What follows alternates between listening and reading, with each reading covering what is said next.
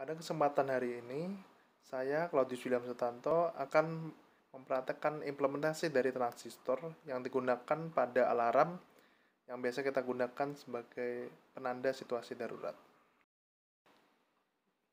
Dan ini adalah skema rangkaian yang akan saya gunakan dalam um, praktek pada kesempatan kali ini. Dan untuk komponen pada rangkaian yang dipakai adalah supply uh, 9 volt. Di sini kita pakai baterai, kemudian ada dioda 1N4148, kemudian ada resistor 47 ohm, ada 47 kilo ohm, ada 33 kilo ohm, ada 68 ohm. Kemudian ada dua tombol, kemudian ada dua kapasitor yang kita gunakan. Uh, yang pertama ada 100 mikrofarad, yang kedua ada 100 nanofarad. Lalu kemudian untuk transistor yang digunakan ada 2N3904 untuk NPN dan 2N3906 untuk PNP. Dan selanjutnya untuk outputnya eh, kita memakai LED beserta speaker.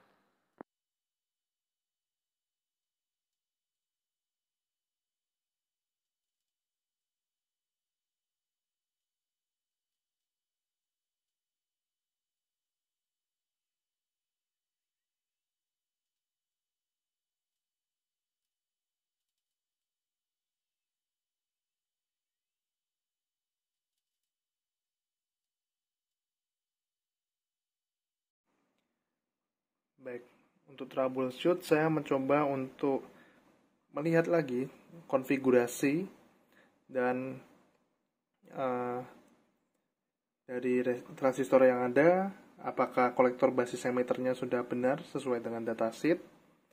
Kemudian uh, penggunaan kapasitor, penggunaan resistor, penggunaan tombol dioda uh, telah benar dan sesuai dengan uh, skema yang ada. Kemudian kita coba kita klik tombol ini.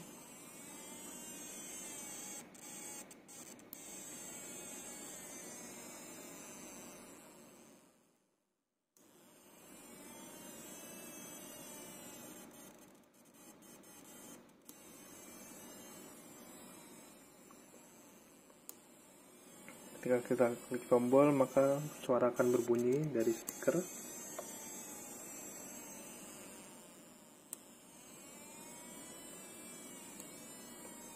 Jika tombol kedua diklik, maka akan langsung mati.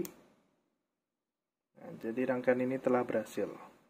Untuk cara kerja rangkaian ini adalah, jadi ketika kita menekan tombol 1, maka akan uh, kapasitor C1 ini, kapasitor 100 mikrofarad ini akan uh, mengisi ya, akan mengisi dan kemudian resistor resistor yang ada 47 kilo ohm, 33 kilo ohm, lalu ada kapasitor 100 nanofarad itu digunakan sebagai osilator kemudian kita coba klik. Nah maka uh, transistor transistor yang kita gunakan dengan konfigurasi uh, feedback pair yang mirip dengan Darlington.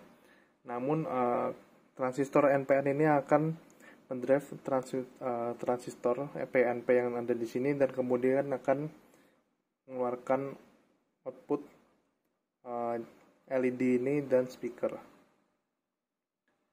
Dan tombol kedua ini fungsinya adalah jadi saat kita menyalakan nyalakan namun uh, speakernya belum mati kita langsung klik tombol 2 maka akan langsung mati demikian video percobaan yang uh, telah saya sampaikan yang bisa saya sampaikan. Dan untuk kekurangannya saya mohon maaf. Dan terima kasih